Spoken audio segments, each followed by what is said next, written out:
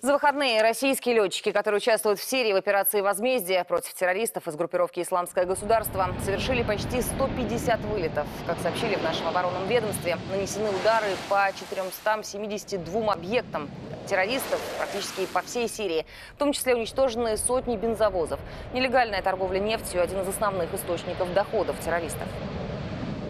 В районе населенного пункта Рака в ходе воздушной доразведки были обнаружены две колонны автомобилей, перевозящих нефть на перерабатывающие заводы, контролируемые группировками ИГИЛ.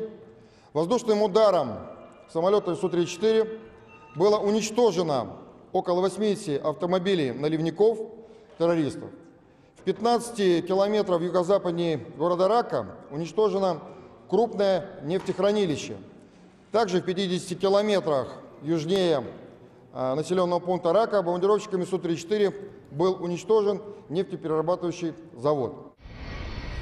Благодаря поддержке российских воздушно-космических сил сирийские правительственные войска ведут наступление практически по всем направлениям. Так, армии Башара Асада удалось освободить город Мхен. Он расположен на западе страны, рядом со стратегически важным шоссе Дамаск-Хомс. Бои за населенный пункт шли 20 дней. Сегодня же удары по позициям экстремистов может начать наносить французский авианосец Шарль де Голь. Он уже прибыл в Восточное Средиземноморье. Владимир Путин поручил российским военным наладить взаимодействие с французскими коллегами. Первые контакты представители оборонных ведомств двух стран уже состоялись.